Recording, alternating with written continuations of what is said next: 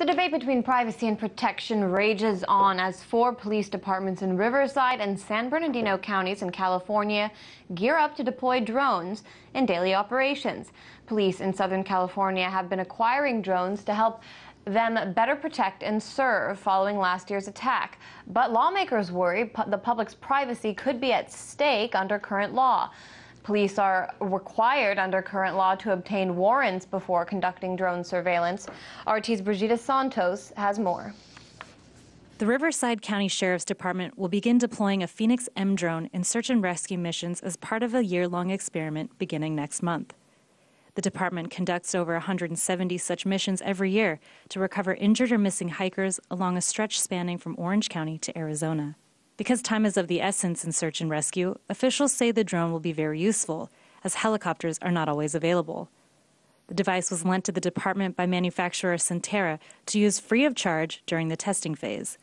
It has a still camera, heat sensor, and can take photos at distances of up to 400 feet away. Once the testing period is over, the department will then decide whether it wants to invest in drones permanently. The FAA has also approved drone use for police departments in San Bernardino County. Drones there will be used to take aerial photos of crime scenes, survey hostage situations, and find missing people. These departments say UAVs will help them protect the public more effectively, but civil rights advocates and lawmakers say mission creep is a major concern.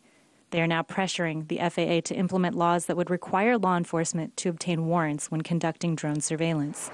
Every day, the FBI and Department of Homeland Security fly drones over cities all across the United States. Now, government grade drones are far more sophisticated than ones that people can buy in stores like this one here in the Los Angeles Valley. Now, unfortunately, the store has since closed down, so I can't actually show you any of these drones. But the government drones are much smaller and much more quiet. In fact, so much so that civilians have no idea that they're allowing the spies in the sky to watch their every move.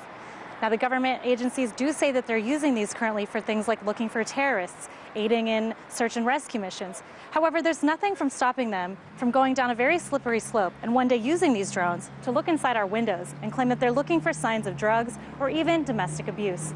Reporting from Studio City, Brigida Santos, RT. For his take on law enforcement gearing up to use drones, we're joined now by Lionel.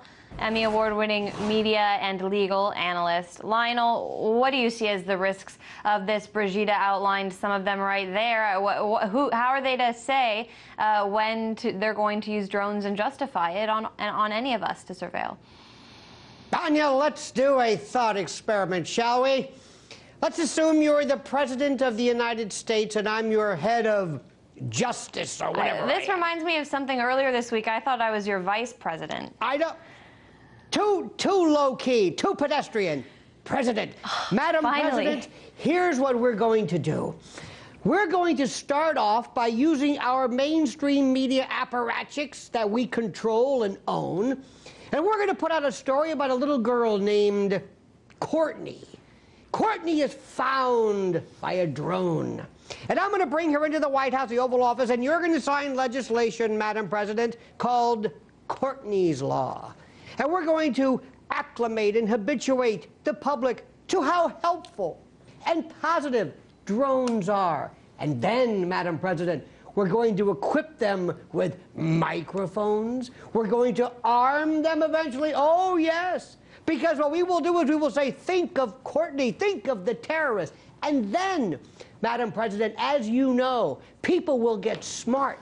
So what they'll do is they'll be hip to our heat sensors and our thermal imaging, which we're going to do as well. And we're going to put into law anything that subverts our will. Think of it as getting around the tinted windows mm. or fuzzbusters. And then what we're going to do is we're going to redirect, retool, and refabricate the Fourth Amendment. As you know, Madam President, the open fields exception well, to the search warrant that's my question, Lionel. If I'm president and you're my legal uh, advisor, I have to ask you, is this constitutional? Absolutely. It's going to be constitutional because the Supreme Court that we own and run are going to say, of course this is. Not only that, Madam President, the people will beg for this. They will say, we want more because keep in mind, the public have looked at these, look at these little devices My kids play with those. This is just an extension. And wait till we arm them. Wait till we use the drone as an extension of the sniper. And don't forget the people who are going to be operating the drones, people in Quonset huts, maybe young people, people who never really have to be there, people who play with screens, mm-hmm. people who don't have any idea of what they're doing, of the calamity and the danger and the, the horrors. You see, Madam President, what this is, is this takes 21st century warfare and law enforcement into a realm. And understand something. The law will always lag behind technology. The courts will get around to dealing with whether this violates our privacy later on. But the public, who is always asleep, who is torpid and somnambulistic and doesn't care, is going to beg for this. Because the first time anybody dares bring up the stinking Fourth Amendment and the Bill of Rights, we're going to bring out this little dog and her puppy that were found, or the bad terrorist who was found because of this, or how law enforcement are going to sit around proudly with their drone. And they're going to say, after all, Madam President, we have planes in the sky, we have helicopters.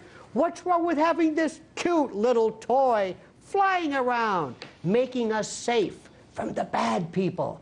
And people will, uh, uh, uh, they will just love and there won't be any problems whatsoever. We'll round up the usual suspects, show some second in command ISIS guy that we get in the middle of nowhere. Nobody questions this. Nobody cares.